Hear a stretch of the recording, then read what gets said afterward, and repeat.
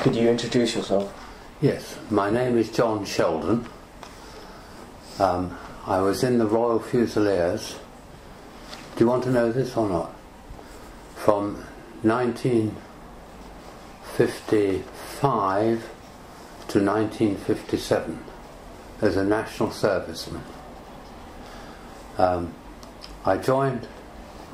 Well, let me give you a bit of a history, all right? As you know, that um, after the war, the Second World War, um, they, the government introduced national service, conscription. And originally it was for 18 months, and I think in about the early 50s it extended to two years.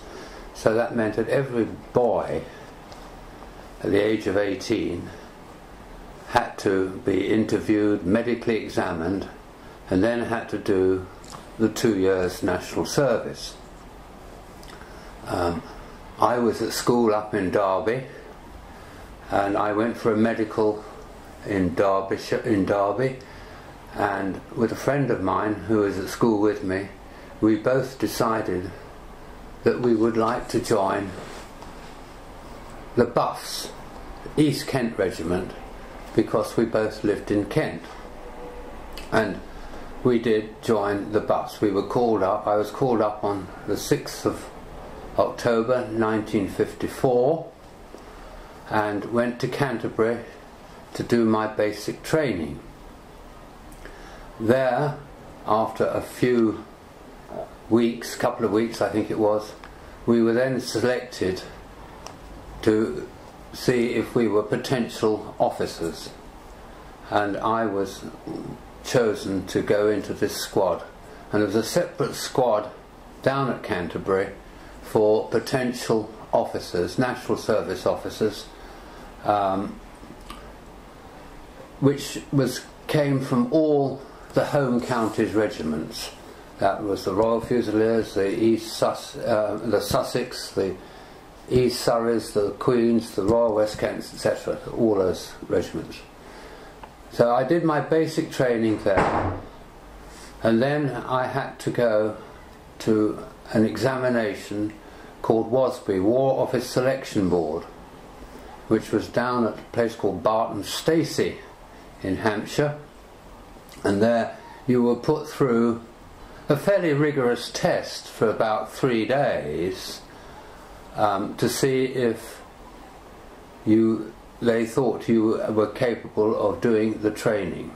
Anyway, I passed that and had to wait quite a few weeks um, at the depot in Canterbury before going up to a place called Eaton Hall, which was near Chester. It was a, used to be owned, well, it still is owned by the Duke of Westminster, but had ta- been taken over by the government.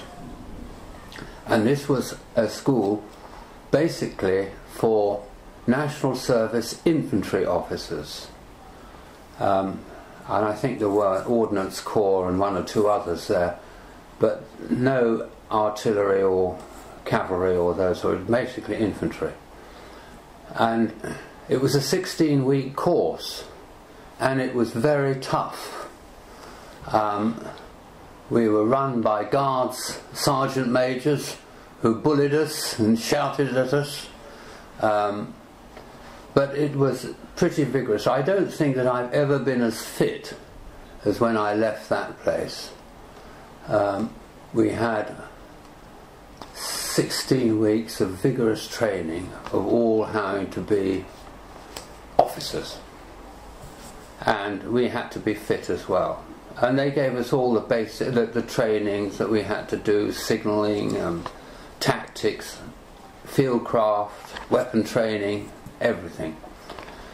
Uh, towards the end of it, we then selected to which regiments we wanted to go.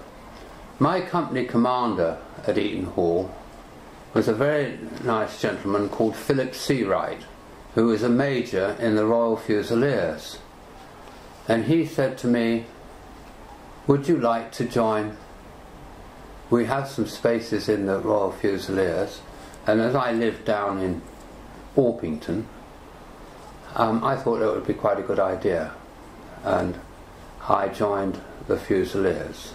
I was commissioned into them and joined them here in, I think it was about August 1955. I came to the Tower of London, very raw.